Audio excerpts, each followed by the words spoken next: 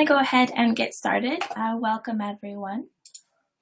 In 2015, Care wanted a way to reach out to our online community of supporters and patients and connect them with information that they could use in their own communities. So we started this webinar series called Care on Air, and we sought volunteers from the medical field to participate in these presentations. Joining us today for our third presentation is Dr. Alisha Gabriel. She completed her medical degree at the Royal College of Surgeons in Dublin, Ireland, and is currently completing her residency in pediatrics at the London Children's Hospital at the University of Western Ontario. Dr. Gabriel is also the recipient of a Rhodes Scholarship and recently finished her Master's of Public Health at Oxford University. Dr. Gabriel has a special interest in global health, neonatology, and bioethics, and has done medical mission work in Honduras. There will be time for question and answers at the end of her presentation. So presenting today on breastfeeding, Dr. Gabriel, welcome. Thank you, Jen, and thank you everyone for attending, and thank you for having me. This is such a great opportunity, and uh, this has is actually my first webinar. So I'm really excited to uh, be here and to be able to talk to you today about um, something that's very important, especially in the field of work that I do, uh, which, as Jen said, is pediatrics. Um, so I thought uh, this would be a good topic. I think, um, you know, it's something I tried to do a presentation that's applicable to, to everybody, so not just really medical professionals, but I try to kind of make it educational for a broad range of populations. Um, so basically, just uh, a little bit about what we're going to talk about today. Uh, so first thing what we're going to talk about is um, really look at the anatomy and the physiology of the breast and also how the breast produce milk. So it's a pretty awesome, awesome um, process. So I'm going to tell you a little bit about the medical part of that. Um, also going to tell you a little bit about how milk is produced and um, some of the benefits that have been studied about breastfeeding. Um, we'll also kind of give you some information or tips about how uh, we typically start uh, babies on, on breastfeeding and also how to support moms who are breastfeeding. And uh, also want to go into maybe some ways that we assess how well babies are feeding. And then I have a few tips at the end for troubleshooting, uh, practical advice, and then just some resources um, for if you want to learn more or um, different educational websites uh, that I found that were really good um, resources. Uh, so before I start, uh, I just wanted to acknowledge the um, American Academy of Pediatrics Breastfeeding Initiative. So they have all sorts of great resources for medical professionals, specifically for uh, a lecture like this, and they kind of help us to be able to um, give a lecture to a broad range of populations. So I just wanted to acknowledge the American Academy of Pediatrics. Okay, so let's get started with the anatomy of the breast. So as you can see uh, here, this is uh, the inside of a breast.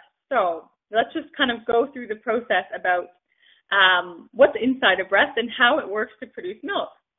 Um, so you can see there that there's an arrow pointing to what's called an alveoli. Uh, the alveoli are a group of what are called glandular cells and they are the cells um, inside the breast that actually produce milk.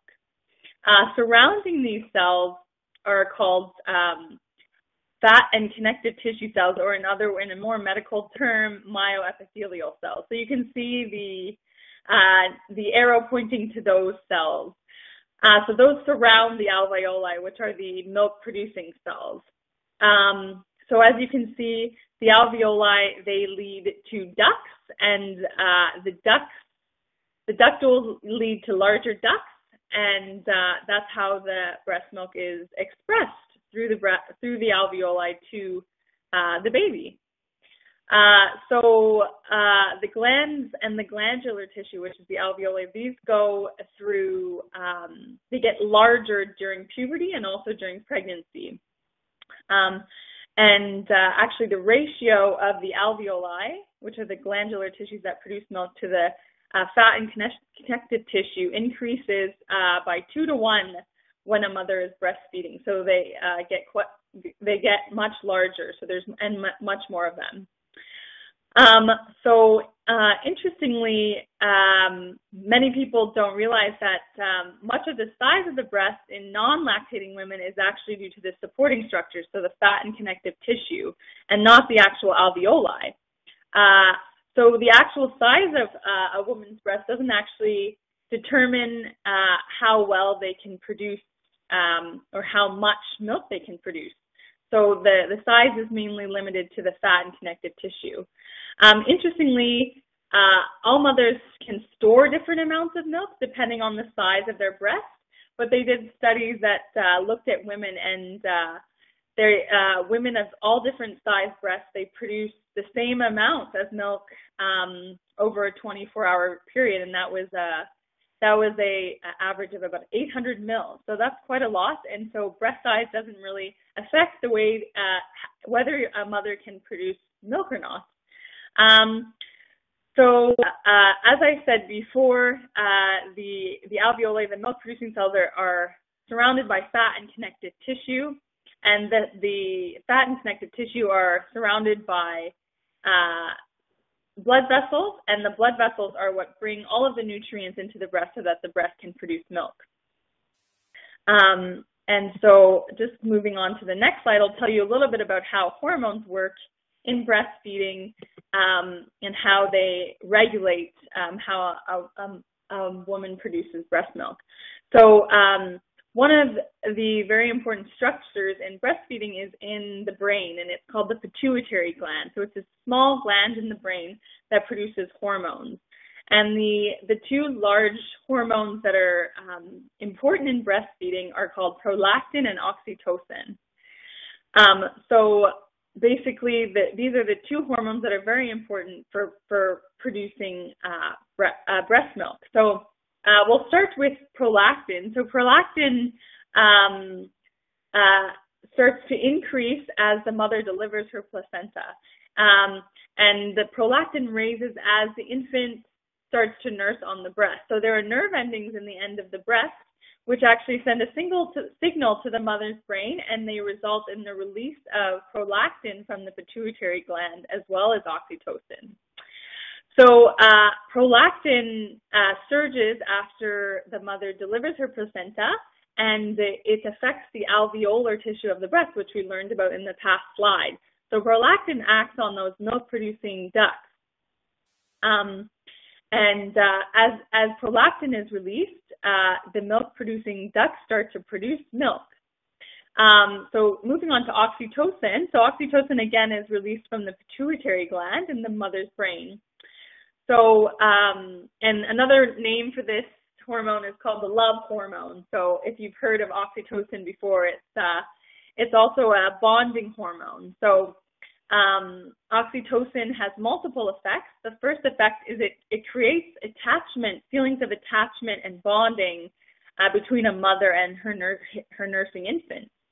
Um, the other thing that it does is, as we learned in the previous slide, it um, causes the connective tissue, the fatty tissue around the alveoli to contract, which expresses the milk um, from the breast so, so the pituitary gland helps to produce the milk, and the oxytocin hormone helps to bond the mother and the infant, and as well helps to express the milk. So this expression of milk is called the letdown, um, commonly referred to as a letdown. In medical terms, we call it the milk ejection reflex, but it's also controlled by the baby uh, nursing at the mother's breast, or even um, can be released if the mother is thinking about her baby, or um, hears another baby cry. It's a very um, strong hormone, and uh, mothers, the milk reflex can be uh, triggered just uh, through thinking. It's, it's an amazing thing how our brain works. Um, the other thing to note is that the uh, hormone oxytocin can be inhibited by stress or anxiety. So sometimes when mothers are under a lot of stress or worried or have gone through a very difficult delivery, um, this hormone is actually um, blocked in our brain. So that's one thing that, you know, can uh, impede um, a mother nursing well. Um, another thing that the, the last thing that the oxytocin does is it causes the mother's uterus to contract. So um, as the mother starts nursing her infant, uh, her uterus contracts and it decreases the amount of bleeding after birth. So oxytocin and prolactin work together um, in a very uh, intricate cycle uh, involving the brain, uh, the bloodstream, and the and the breast tissue uh, to produce to help uh, with the production of milk. so the next slide. So we'll just go through a little bit about the different types of human milk because there are more than one type and uh, what is in them and, and when we can see them uh, in a nursing mother after birth. So the, the first stage of milk is called colostrum. Colostrum is another word for it you probably heard is um, liquid gold. So this is the um, liquid gold that a mother produces right after birth. So it's the earliest stage of birth, and it's actually started to be produced by the 16th week of pregnancy, and it's ready at the baby's birth. Um, and colostrum continues to be present in the first few days after delivery. Um, colostrum is, is the reason they call it liquid gold is it's very high in a lot of very good things for a baby. So the first thing is immunoglobulins, and these are um, parts of the mother's immune system that are transferred to her baby that help to kickstart her immune system and to pass on some protection from her immune system. Um, uh, other things are it has uh, a lot of protein in it um, and a lot of um, uh, easily digestible um, uh, sugars and fats that are very good for the baby and high in nutrients. Um, the thing is, is that when a baby comes out of the mother's uh, of the mother's womb, uh, he's not he or her is not eating during uh, in utero. He, they're getting all their nu- nutrients through the blood. So their stomachs are very small, so they can't really hold a lot of um, a lot of food yet. We have to stretch their stomach. So colostrum is is very like uh, a lot of bang for your buck. So uh, there's uh, it's uh, you know only produces five to seven mils per feed, which is you know um, barely a teaspoon, but um, that's how much a baby's stomach can hold at that time. So it, it kind of matches perfectly. And then as the baby gets older, uh, as days go by, the stomach increases in size and the milk changes. Um, so this is the first uh, type of uh, milk, and it's the, probably the most important. And um, it's so important that we've termed it the, the infant's first immunization. So it it really um, gives the infant a lot of immunoprotection, and it's very important. Um, so the next phase of milk is called transitional milk. Uh, so this milk occurs uh, anytime between two to five days postpartum and anywhere up to 10 to 14 days. Um, and at this time, the transitional milk is a transition from the colostrum to the um, completely full milk. So, um, you know, the mother's milk production at this time starts to increase. So the mother should see a increased volume of milk and it should change from a thick very like almost liquid gold consistency to a thinner uh, more copious and creamy appearing transitional milk and uh, as this transition occurs uh, there's less immunoglobulins um, and increases in the in the in the fat and protein and lactose so it transitions from the colostrum to uh, more of a milk-based consistency. Uh, it's good to know at this time, as the milk is transitioning, um, the mother can experience some tenderness and, and swelling in the breast as as the breast accommodates uh, to to um, hold the transitional milk and to produce the full um, type of milk. So this is kind of the middle ground, and then um, as as the volume of milk availability increases, the baby's stomach uh, also expands to be able to take more volumes of milk. So uh, you know the two kind of work together. Nature really helps in uh, supporting babies as their stomachs grow. Uh, the last uh, phase of milk is called uh, mature milk, and this mature milk is developed 10 to 14 days after delivery. So uh, as the volume increases, so as there's more of it, the consistency is thinner. So um, at this uh, stage, some mothers perceive that their milk isn't good anymore because it it's kind of the consistency of skim milk, but that actually is not true. This is the mature milk that it um, the transition has happened, and it um, because of the texture is different. Um, some others think that it's not as nutritious, but this isn't true. Um, as mature milk comes in, uh, there are two types of milk um, that um, that are in the breast as the infant feeds. So you probably heard before at the beginning of the feeds, it's uh, it's called the fore milk, and this milk is very high in protein. It's high in lactose and it's high in water. And then towards the end of the feed, uh, the the um, milk becomes thicker and it has a lot more fat. So um, even within one feed, there are two different types of milk: the fore milk and the hind milk. Um, so in one feed, which is um, so it's pr- providing all of the nutrients that the baby needs. Um, so that's that's the final stage uh, of milk, of human milk. And um, at this point, sometimes mothers notice that their breasts are not as hard, as not as um, tender because the consistency uh, is not it changes with the mature milk.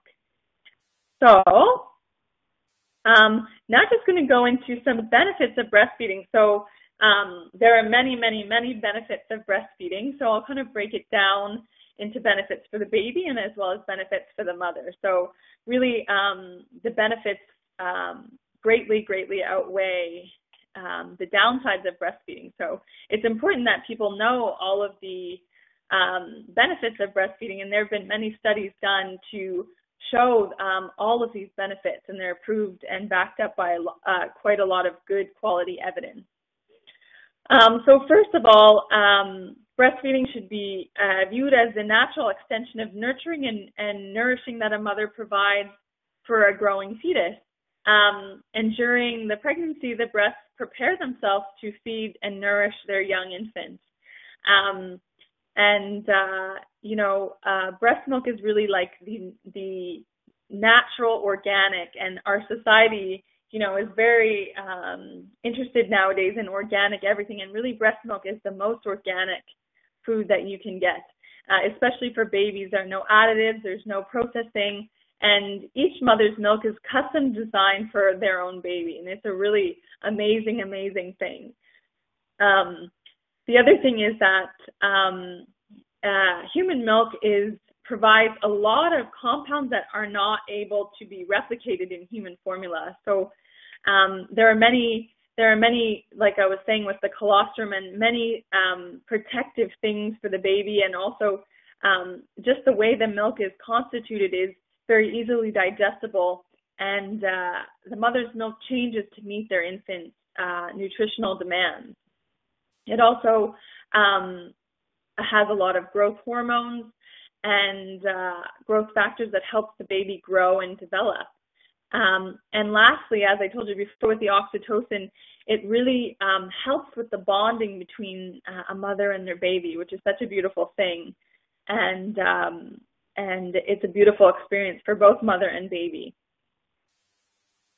Uh, some other benefits. So uh, there are quite a few immune benefits uh, with breast milk. So as I said before, the colostrum, uh, really there's been a lot of factors identified in human milk that provide important immune benefits for babies, and these are not found in formula. So there are some um, immunoglobulin, like immunoglobulin type A, and other types of cells and uh, called lysozymes and lactoferrin that help prevent infection in the baby.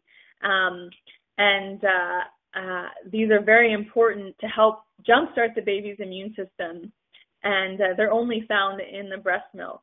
And um, also, the mother produces, um, gives some of her immunity to her baby when she breastfeeds. So this is a very uh, important thing that we've uh, studied recently and found that really, really helps uh, babies uh, with developing their immune system. Uh, so other things uh, for moms. So there's a lot of sorry. Um, there's a lot of before I go to mom. There are a lot of things that breastfeeding prevents. So this is just a list of some of the things that it prevents. Um, this is a report that was published by the Agency for Healthcare Research, um, and these are just some of the things that they um, they demonstrated that uh, breastfeeding decreases the risk. So otitis media is ear infections. Gastroenteritis is is a is a virus that babies can get that can cause them to vomit and have diarrhea and become very dehydrated. Uh, respiratory tract infections such as pneumonia. Uh, atopic dermatitis is eczema, so um, lower incidence of eczema as well as asthma.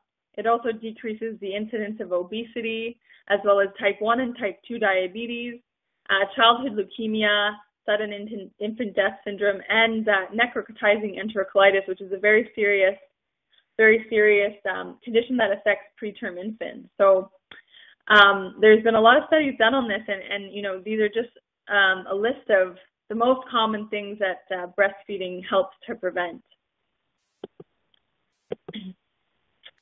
Uh, so breastfeeding and obesity. So there have been uh, a large-scale study published by Lawrence Grimmer Strawn, and he demonstrated that uh, breastfeeding is protective against childhood obesity, and childhood obesity is becoming a very big problem in our society. Um, and so this study showed that uh, breastfeeding has a dose-dependent effect on obesity, such that the longer that a mom breastfeeds, the greater the protection against obesity in their child. So that's a very uh, another benefit of breastfeeding. In terms of uh, benefits for the baby's brain, breastfeeding is really um, beneficial for the development of a baby's brain. Um, so uh, human milk, uh, the human infant brain goes undergoes its most rapid uh, complex growth during the last trimester trimester of pregnancy up to two years.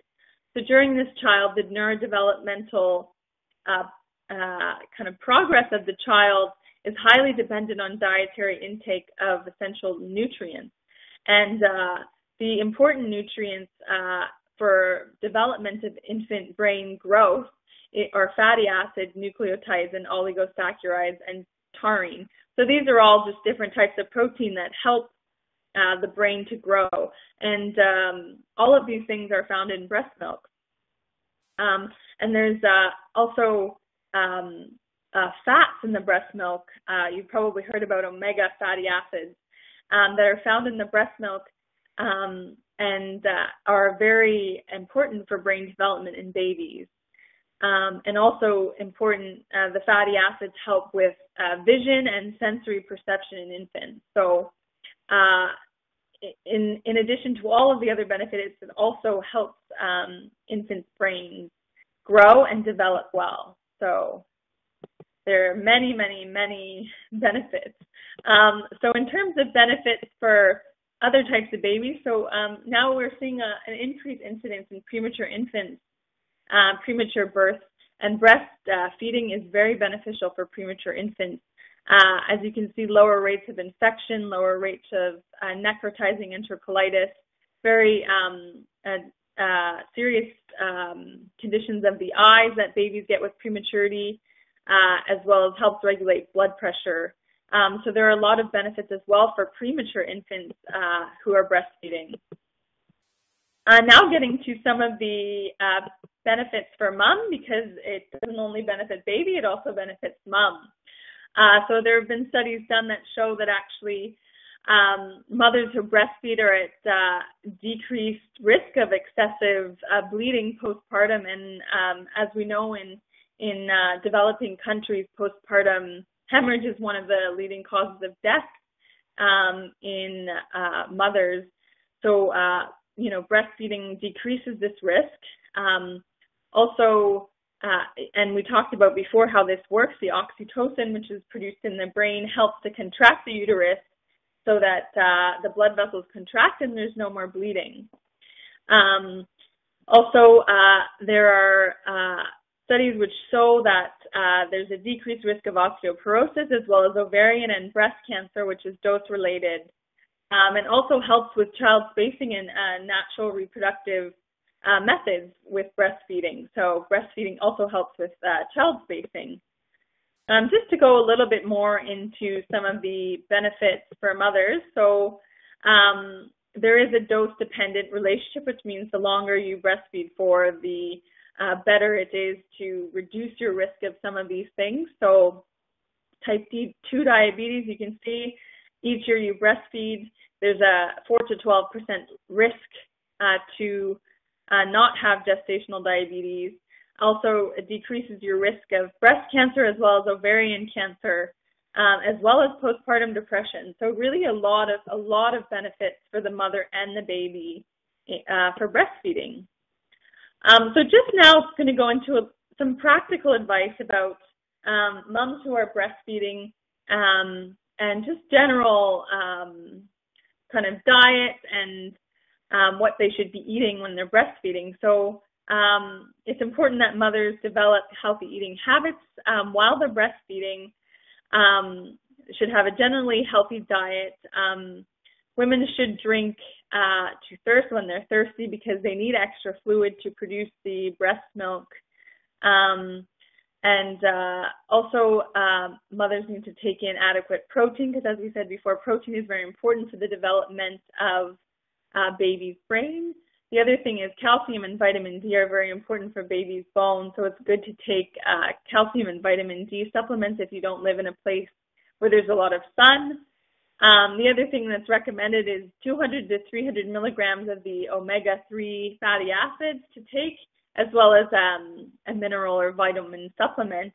Uh, the other thing is that um, uh, additional four to 500 calories a day is recommended. Um, to make for a woman to produce about uh, 750 mils of breast milk, uh, it, it uh, approximately expends 630 calories. So, in addition, it also helps um, for moms to lose some of the post the postpartum weight. So, really, it's um, it's really an all win-win for breastfeeding. So, yeah. Uh, but you also have to do supplement um, some calories just to make sure that you're getting enough uh, to produce enough milk. Um, so just in terms of some practices that we recommend for initiating breastfeeding, so the American Academy of Pediatrics uh, recommends that breastfeeding be initiated within the first hour of life. Um, and they they recommend the the first feed should take place within an hour after delivery, if possible. Obviously, this isn't always possible, but um, in most cases cases um, it is, and it should be initiated as soon as possible. Uh, the mother should be placed skin to skin immediately after delivery to increase the bonding and also increase the production of oxytocin, as we talked about before, the love hormone. Um, and uh, the other thing is uh, they recommend to uh, reduce any kind of suctioning around the infant's mouth as well as any traumatic procedures until after the first feeding. If there's anything, any blood work or, um, you know, babies obviously require um, a needle at birth and some ointment on their eyes, but they recommend delaying this until after the first feed so the mother and the child can have that first bonding experience. Um, so in terms of, I, I, mentioned before, skin to skin. So skin to skin is is recommended for all babies right after delivery, so that the mom and the and the baby um, can can bond, and also the infants are hardwired to feed. So they have a set of reflexes um, that they naturally latch onto the breast once they're put close to it. So um, if an infant is placed skin to skin right after delivery, they can often uh, the oxytocin levels are high after delivery, so often the infant can re- uh, reach the breast themselves and latch with little or no assistance, and this really helps to facilitate the breastfeeding process. Um, and also, uh, because the oxytocin levels are so high, this encourages that letdown reflex. Um, so the milk is ready for the baby to take right away. And there are studies that show that um, infants who have skin to skin uh, right away, um, the infants interact and bond better with their mothers. They also are better at regulating their temperature and also have been shown to cry less and are less fussy and are also likely to feed for breastfeed for longer. So uh, this is a very important thing that you know we as physicians sometimes don't put enough emphasis on, and it's this initial bonding and also trying to promote the natural um, instinct of a baby, which is to find their mother's breast, and that's done through the skin to skin initiation. Um, so that's quite important. Um, so in terms of what we look for in babies, so um, for babies, we encourage um, in the beginning anywhere from 8 to 12 feeds per day, but every baby is different. But the important thing is to, we want to make sure that um, each time a baby feeds, it stimulates the mother to produce more milk, and we want to make sure that the mother's producing milk. So in order to um, get that cycle started, we recommend 8 to 12 feeds per day, um, and uh, that's usually about every two to three hours. Um, but some some infants feed as often as one to two hours, and uh, we you know we recommend that feedings um, should continue and should shouldn't be timed. They should be the infant should be fed on demand at first, um, so you're meeting your infant's um, nutritional needs, and they usually will cue you when they want to uh, when they want to feed. Um, so that's really some of the recommendations. Uh, another thing we recommend is that uh, allow the infant to nurse on one side fully because as we, we talked about before, there are the two types of milk. The uh, two types of milk. So if you nurse on the one breast and the, and finish uh, the feed on the one breast, it ensures that the baby gets both types of milk and all of the nutrients. Um, the other thing is is that um, studies have shown that prolactin levels, so that's the milk producing hormone, they peak uh, at night. So that's uh, another reason why we encourage uh, mothers to feed overnight to encourage milk production, uh, especially in the first month or two. Although it can be very tiring, but it is worth it.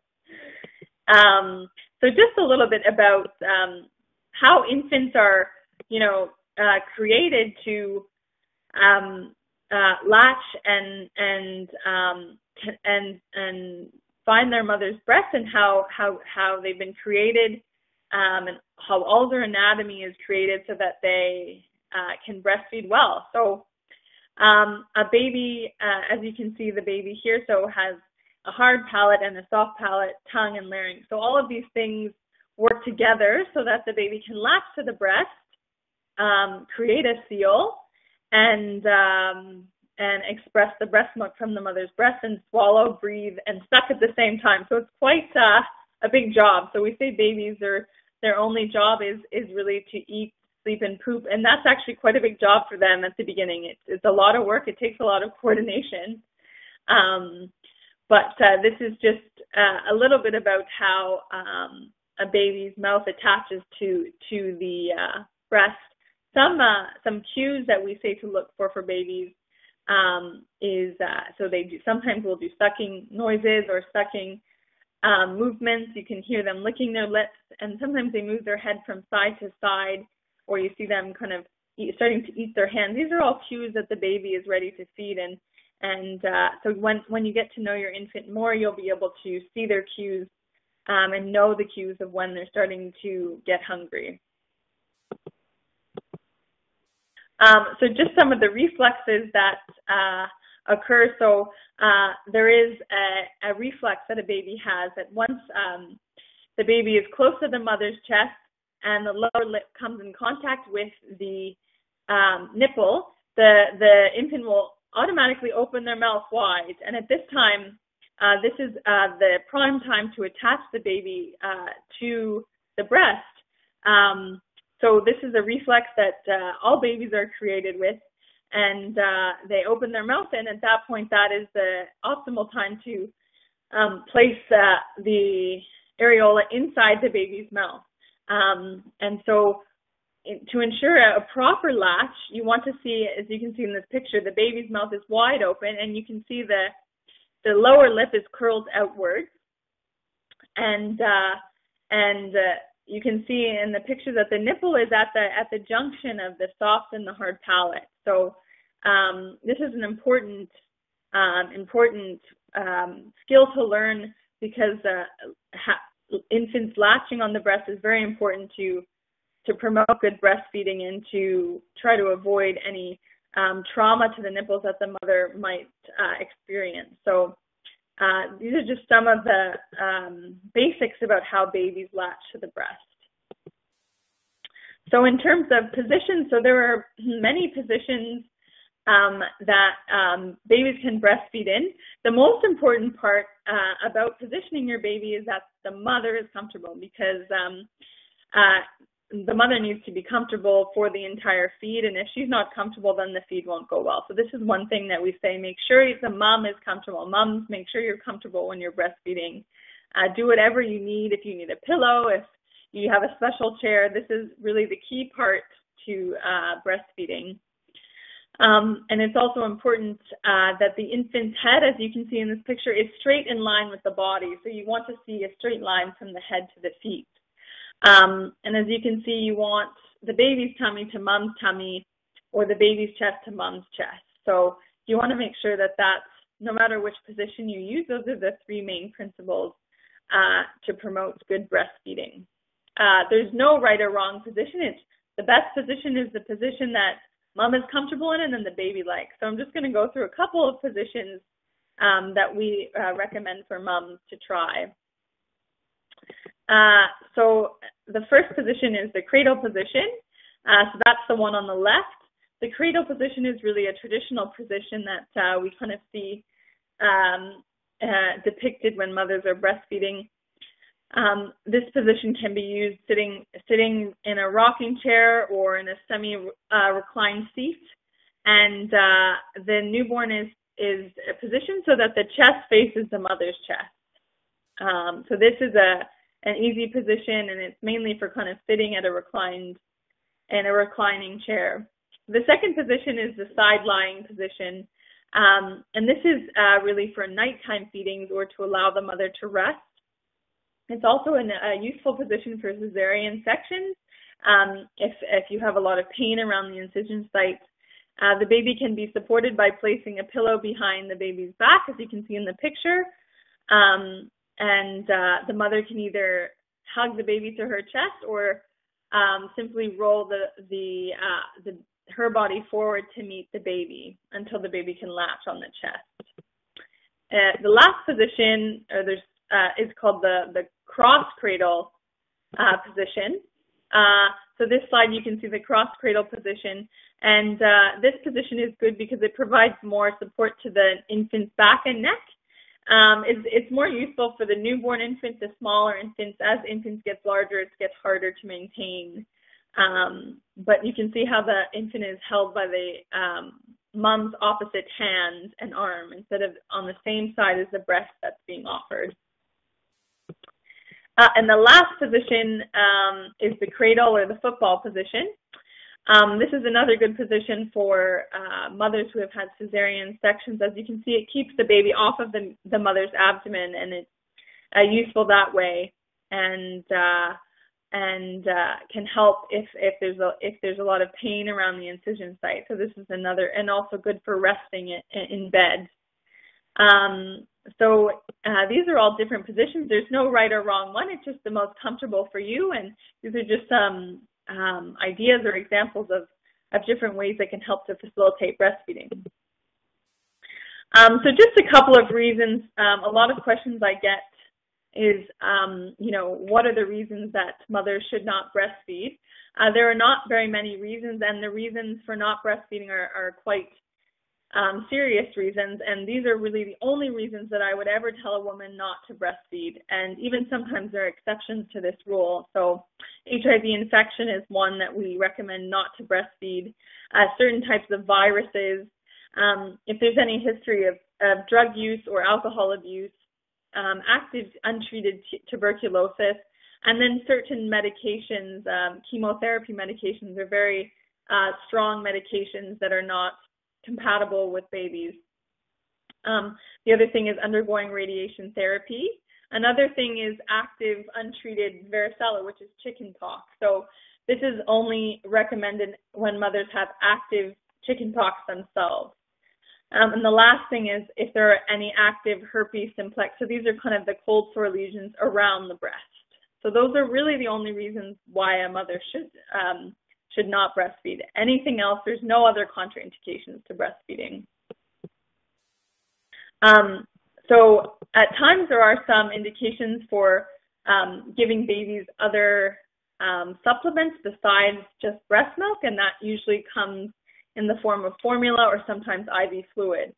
So these are really the only reasons why a baby should need something other than breast milk until the ages of six months old. So um, premature infants sometimes need the extra calories um, or sometimes need IV fluids. Uh, babies who have uh, low low sugars at birth, um, if the mother is very very very ill. Um, some there are some rare inborn errors of metabolism, and as well as if the baby is uh, acutely dehydrated, um, or if the mother's on a medication that does is incompatible with breastfeeding. This last slide that I showed you. So these are really the only reasons that babies should need anything extra besides their mother's breast milk. Um, so last couple of slides. So just going into a little bit about what I look for as a pediatrician um, when uh, I'm assessing newborn babies. So um, weight loss. So a lot of the time, um, all newborns are expected to lose some weight early in life. They have a lot of excess fluid and so um, the average loss is about 6% over the first three to four days, um, and a baby is expected to gain their birth weight back in uh, two weeks. Um, anything that's greater than 10%, uh, baby should be seen by uh, a pediatrician and their family doctor just to assess um, how breastfeeding is going and if there are problems um, that need that are not allowing the baby to get enough milk. Um, so in terms of weight gain, usually it begins around day four to five, and you expect um, 15 to 30 grams. I usually tell patients every day except for Sunday, so they get a break day.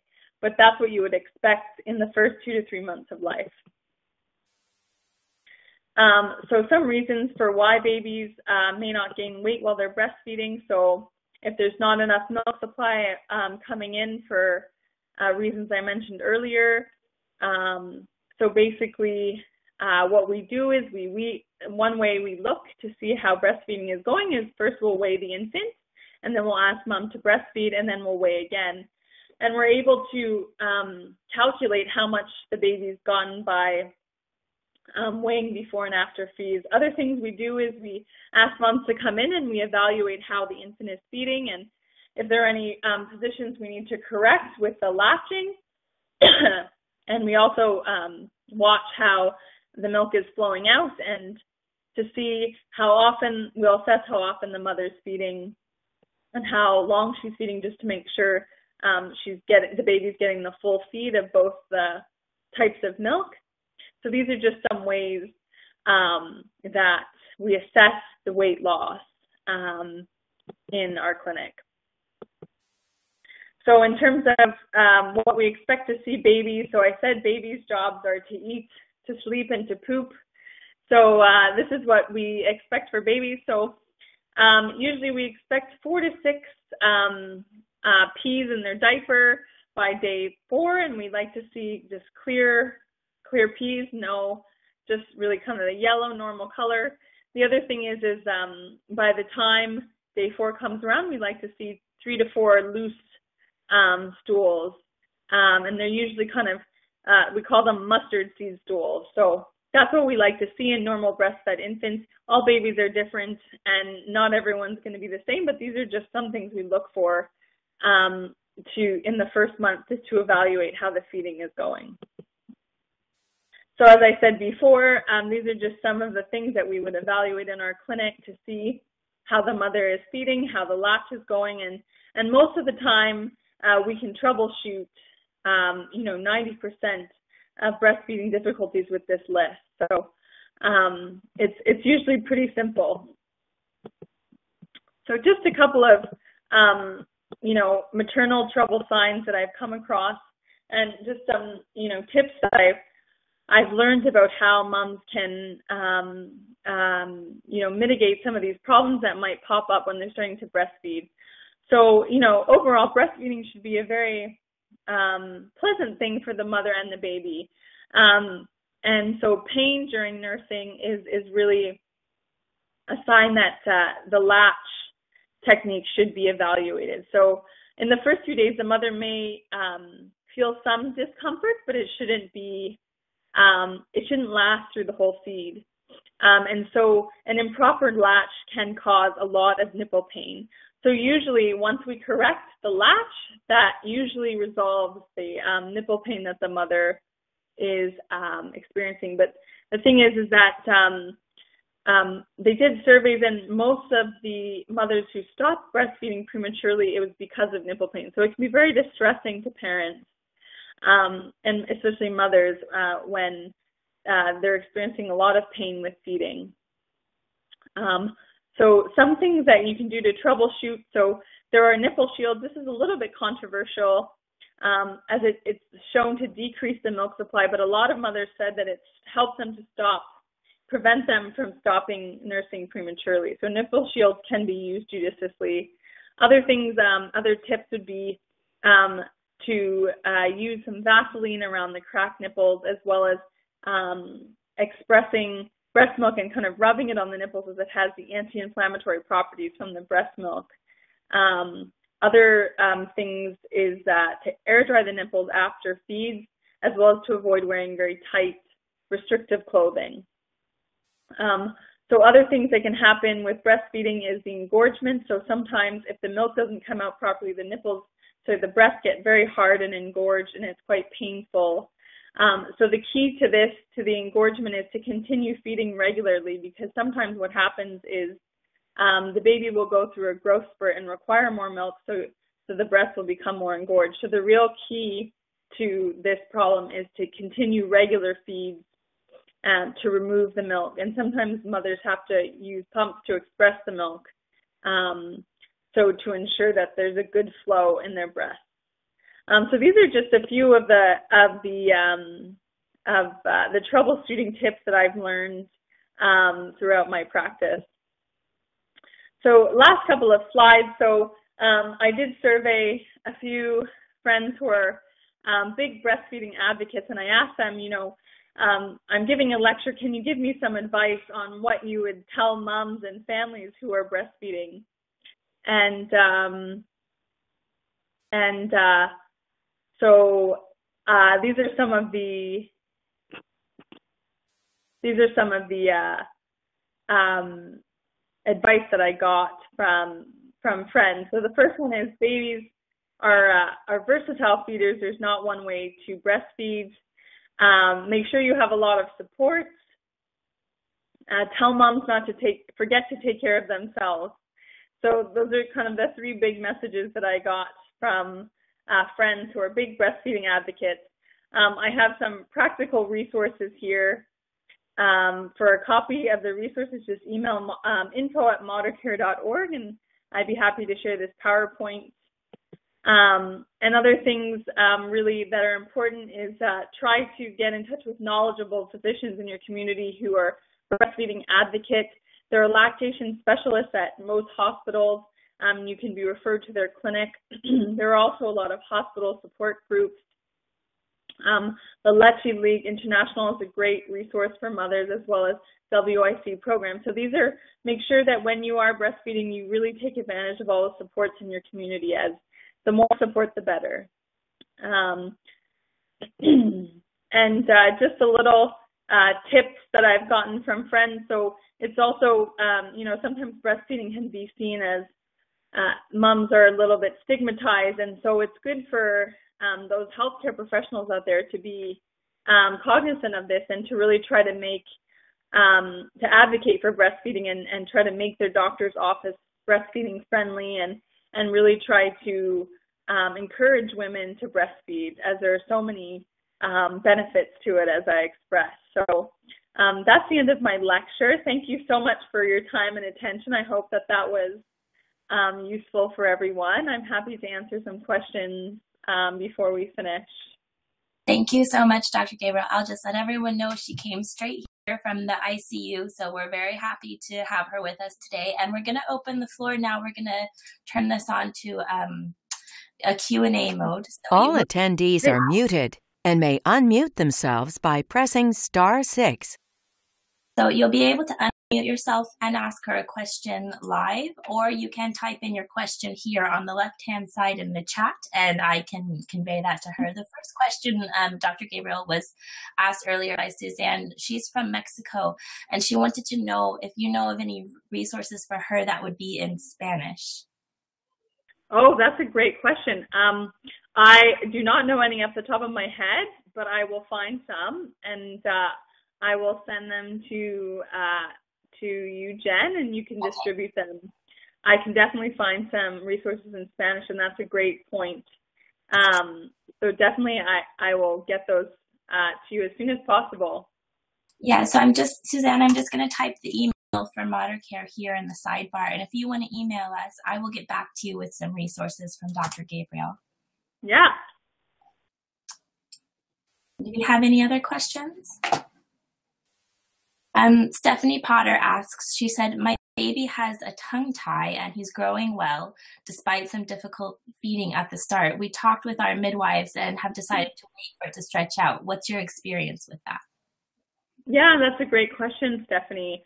Um, I didn't um, I didn't mention tongue ties, um, but you know that is something that we do um, if we find that the the baby is really not able to latch. So sometimes what can happen is um, babies at the at the bottom of their tongue, uh, you can see there's a little muscle. We all have it at the bottom of our tongues, and sometimes uh, the baby's muscle prevents their tongue from um, from from moving, and sometimes it restricts their ability to latch. Uh, so uh, there are times when we do recommend. Um, sometimes we can do a procedure and just clip that muscle to help uh, the tongue facilitate uh, latching. Um, but it is it is something that's assessed on a case by case basis, and obviously it is a medical procedure. Um, and usually it's kind of a last resort that we use. And if if you know the main thing we look at, as I said, is the weight, and if the baby is growing well, um, that's really the main indicator that things are going well with the breastfeeding. So uh, I think uh, your your midwife was right to to kind of wait things out and see how the growth goes. But it is a case by case basis but I'm glad that you brought that up because that is an option because sometimes, you know, you can correct the latch and actually, um, you know, it doesn't get better. And, and that's at the point when we would consider looking at a, a tongue tie or fren- frenulotomy is the medical term for it. she followed up. She said, he's about 10 pounds at a month, so we're feeling confident. Great. Well, keep going.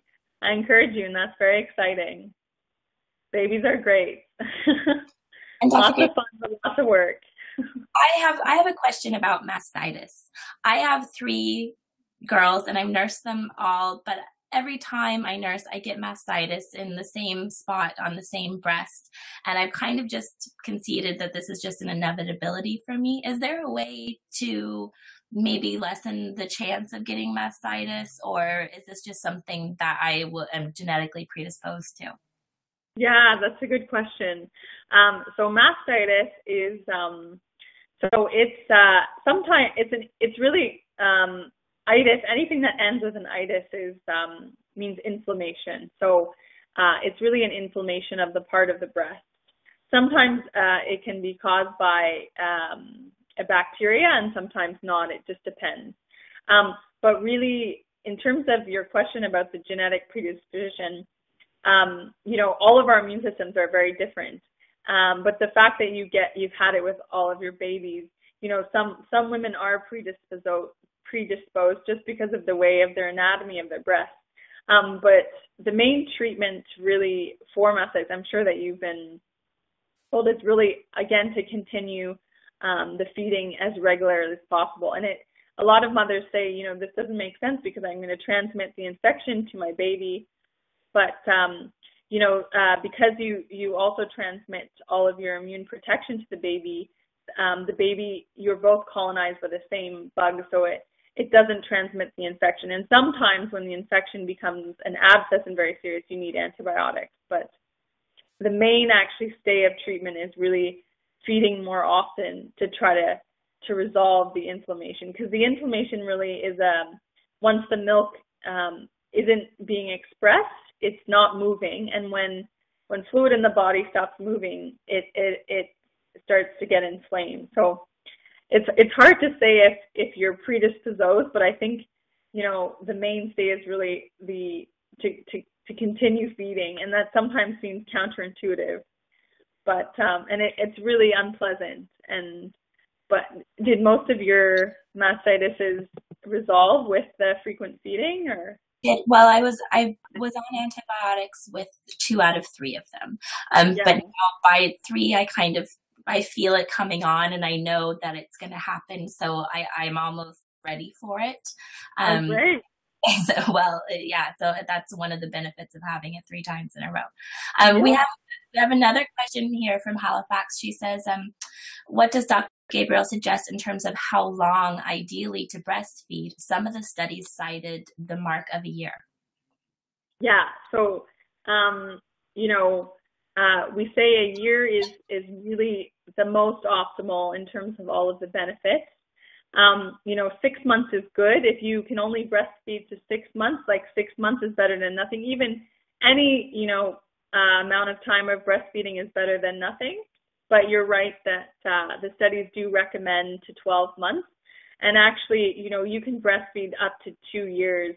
Um, and there are just so many benefits that, you know, breastfeeding even up to two years, there's there's really no downside. And and um, as I as I said in my presentation, a lot of the benefits are improved uh, over dose dependent. So the longer you breastfeed, the more likely uh, you and your child are to benefit from it. So they say 12 months, but honestly, I I tell my patients, you know, as long as they as they as you want to and they want to, there's no harm. But 12 months is really the optimal time that we recommend. Okay, um, we have another question from Emily from Ontario. She said, Can you request after delivery have that time to breastfeed your baby, or do the nurses and doctor take the baby away for their shots and testing?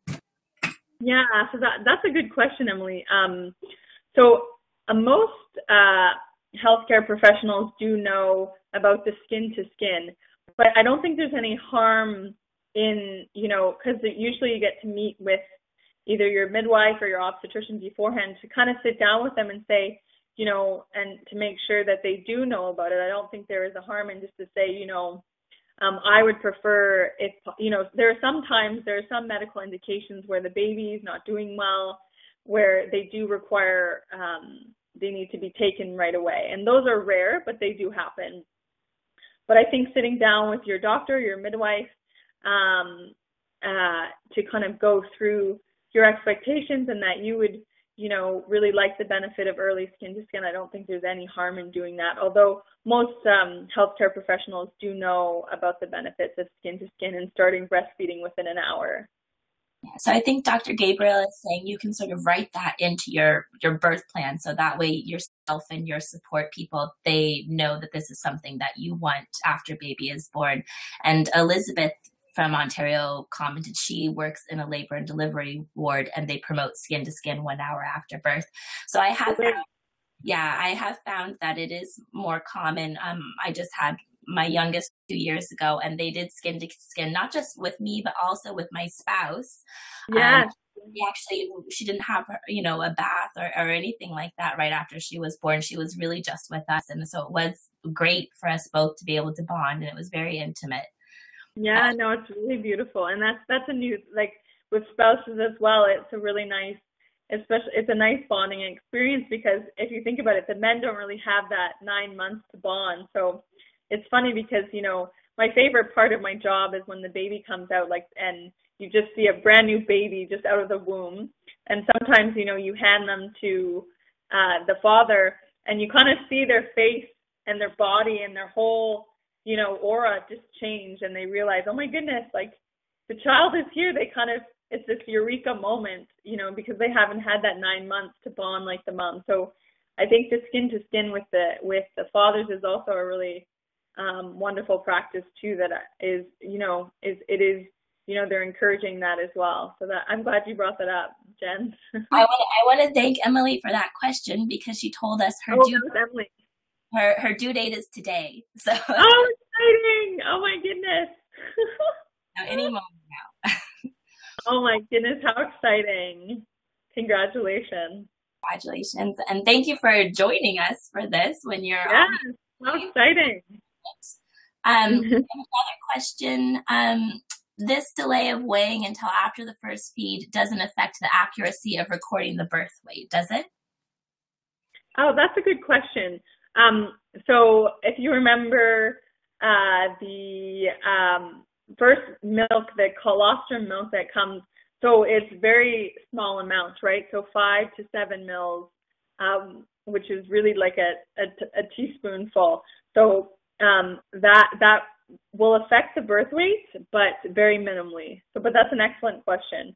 But um, the first feed is really more, obviously for the colostrum, like I was saying, the benefits of that. But it's really the first feed is for bonding and also to promote the infant's natural, um, you know, the way the infant was created to really naturally bond and latch to the breast. I think it's just to facilitate that, and that helps uh, down the road to facilitate breastfeeding. But that's a really good question. But it really would affect the weight minimally.